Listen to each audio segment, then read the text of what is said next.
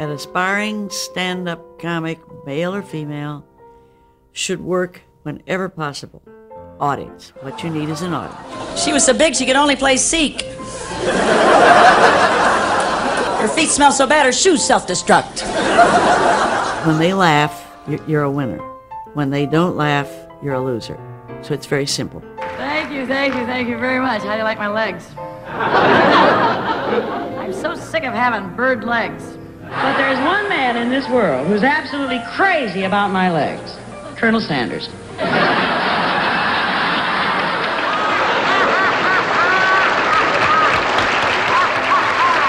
The laugh, that's a trademark by accident. That's my real laugh. In the beginning, it was nerves. Nerves.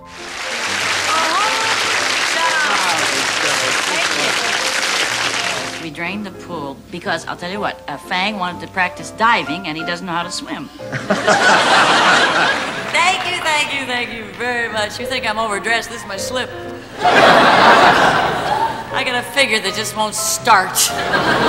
Would you believe that I once entered a beauty contest? I must have been out of my mind. I not only came in last, I got 361 get well cards. There's always been comic actresses.